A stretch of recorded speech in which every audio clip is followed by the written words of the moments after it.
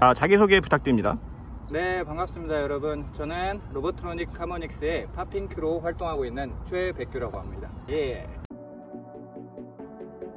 아 저는 그 예전부터 이제 시작은 popping 스타일로 시작을 했고요 어, 이제 로보트로닉 하모닉스라는 팀을 결성 후 그 로봇을 basic으로 어, 로봇과 애니메이션을 주로 하고 있습니다 그 로봇 춤은 굉장히 이제 정적으로 움직여야 되는 게 포, 어, 포인트인데요. 그 정적으로 움직임과 아주 어, 미세한 움직임을 통해서 다양한 그 감정과 그런 vibe, 그런 또 디테일을 표현할 수 있다는 장점이 있고요. 또 하나는 그런 미세하게 음악을 표현하고 마, 어, 맞추는 그런 게 굉장히 저한테는 매력으로 느껴지고요. 네, 제가 로봇춤을 추고 있기 때문에 이제 mechanical적인 어떤 움직임들을 보고 많이 영감을 받습니다. 기계 같은 거나 전자제품 같은 거에도 영감을 많이 받고 있습니다.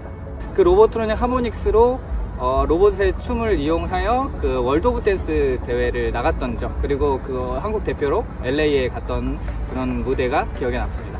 어, 어떻게 우승했어요? 아니요.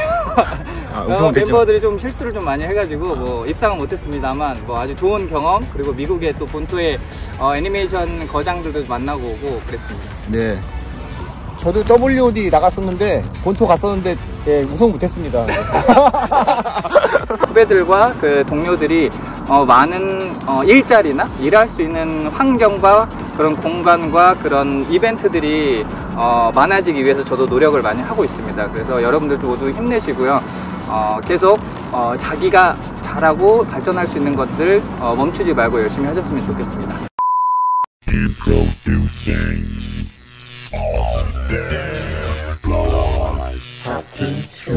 Popping 연출